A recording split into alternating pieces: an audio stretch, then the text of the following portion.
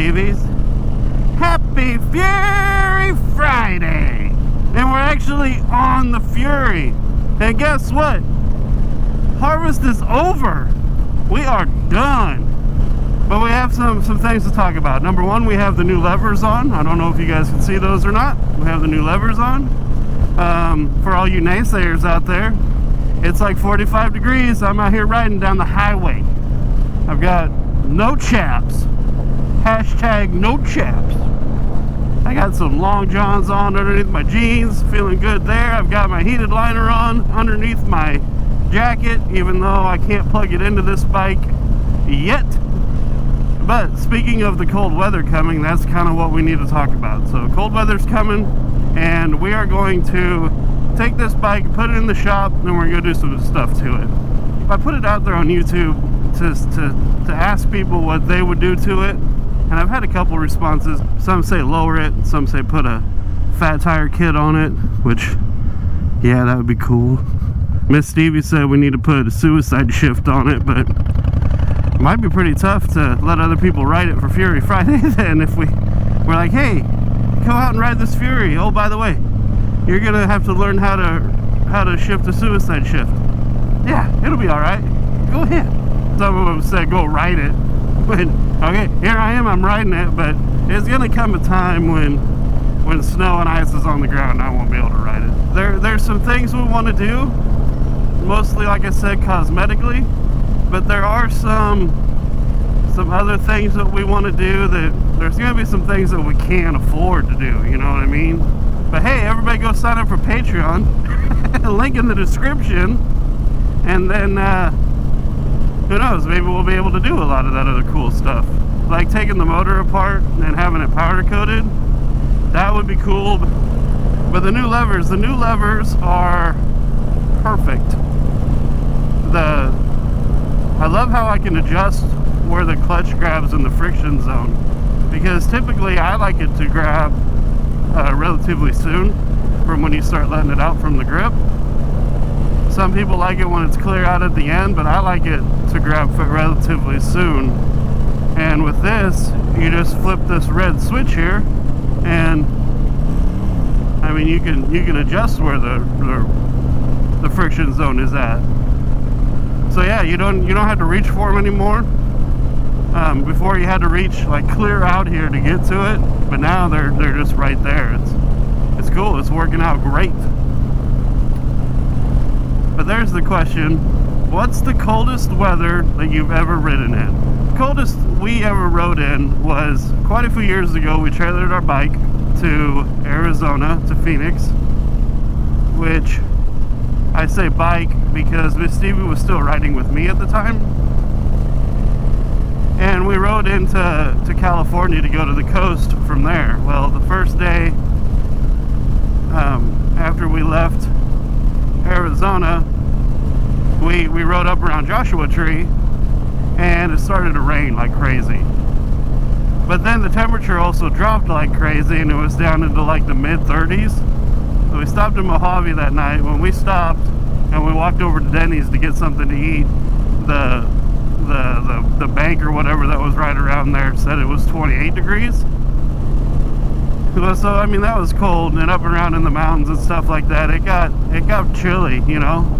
But that day that we rode from Joshua Tree to Mojave, that was the coldest we ever rode through. The coldest long distance we ever rode through, I guess. We've done some some uh, reindeer rides and stuff like that around here, um, and you know, 15, 16 degree weather. But we stayed in Lincoln. You know, well, I took my bike to Lincoln when it was warmer. The place I was storing it at the time, and they said, "Hey, we're going to go do this Candy Cane Lane ride," which Candy Cane Lane is in Lincoln. They put up candy canes in the wintertime around Christmas time. And we we rode the candy cane lane but then we went right back to where to where I was storing my bike. And you know it was cold but we could bundle all up and stuff. I had coveralls on and but we never we never got up to any highway speeds or anything like that. But so I want to know what the coldest is that you guys ever rode through because I know some of you are going to blow me out of the water I know this year with heated gear I'll be able to ride much later into the year than I did last year pretty much as long as there's no, you know, snow and ice on the ground, I should be able to ride. But that's that's the winter project is the Fury. There's some things I want to change on it, some things that uh, that would just I don't know, just make it cool and fun looking. I want it to stand out. You know what I mean? It's I I just there's I just want it to be one of a kind. This is my first time riding this with the new mirrors. Trying to get them where I want them. They ain't the easiest thing in the world. I mean, they work. They work. They work really well. You can't see out of them anywhere near as well as you could those great big honking chrome things, but uh, I hated them things. So these these actually look cool. So we're already doing a bunch of stuff. I will give you guys a little sneak preview. I'm going to change these switch covers to white. Also, we'll talk about this in another video that'll come out later. But uh, Miss Stevie and I are starting to make plans for our vacation this year, which we have decided we are going to trailer the bikes to one of the coasts. We're not 100% sure which way we're going yet, but we have a really, really good idea which way we're going to go. And uh, hopefully, if we're going by your neck of the woods, reach out to us and uh, who knows, maybe we can maybe we can even do a ride together or something. With harvest being over, we're going to do some more live streams. Uh, we've really been slacking on that. The Patreons are going to finally get what they've been promised, a lot more of it anyway. Because uh, I've been slacking on that like crazy too. And with winter coming, some of that stuff will be easier. Some of it will be harder.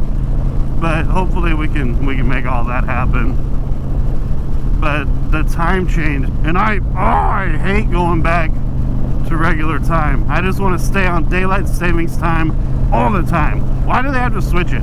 It's dumb. Don't switch it anymore. Leave us on daylight savings time all the time and, and just let us be done with it. In the wintertime, Miss Stevie could change the color of the house on the outside and I wouldn't even know it until the weekend. I leave when it's dark, I come home when it's dark. That's just the way it is. But man, I feel really good out here. It's like I said, it's 45 degrees, but I'm sure it's cooled off a little bit more than that. But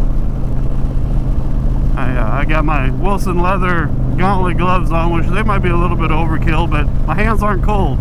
I got my Harley Davidson uh, shoes on. They're not really boots, they're shoes. Which I need to do another video on these because these shoes are really comfortable.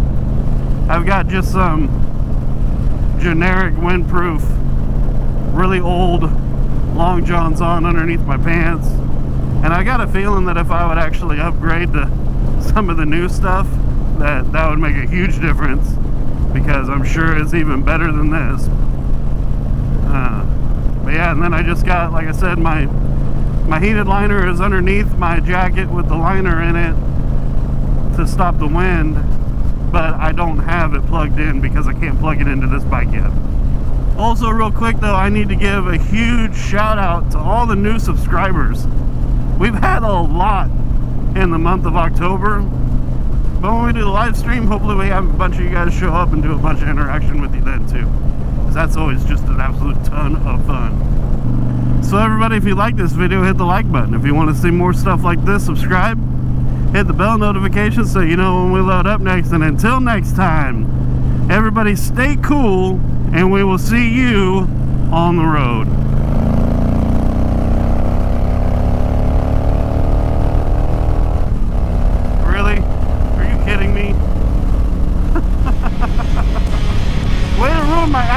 buddy.